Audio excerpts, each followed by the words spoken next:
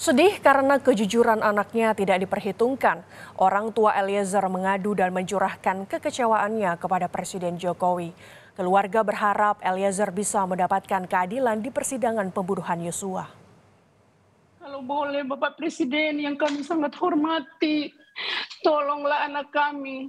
Kami tidak bisa berbuat apa-apa.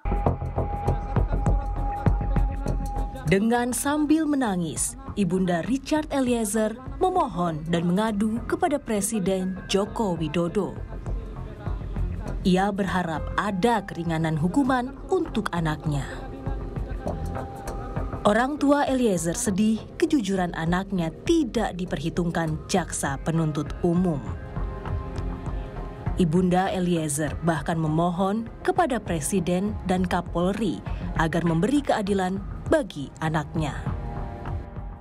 Kalau boleh Bapak Presiden yang kami sangat hormati, tolonglah anak kami.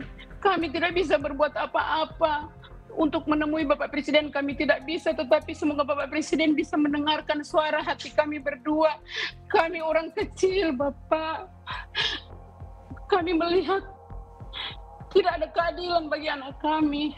Dia sudah melakukan kejujuran. Dia sudah berusaha membantu dalam penyelidikan sehingga mereka tidak bekerja keras.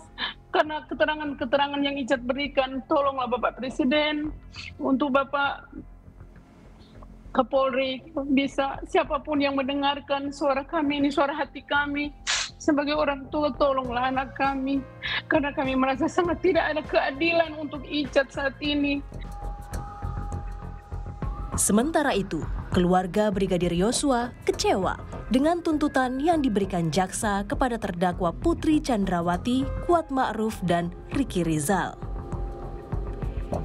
Bibi Yosua, Rohani Simanjuntak juga memohon kepada Presiden dan aparat hukum agar memberikan keadilan pada kasus pembunuhan Yosua.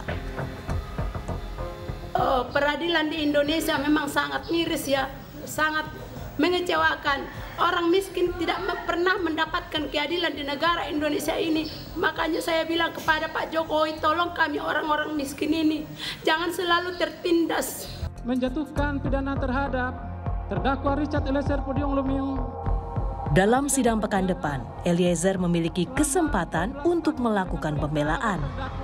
Sebelum nantinya majelis hakim menjatuhkan vonis. Tim Liputan Kompas TV.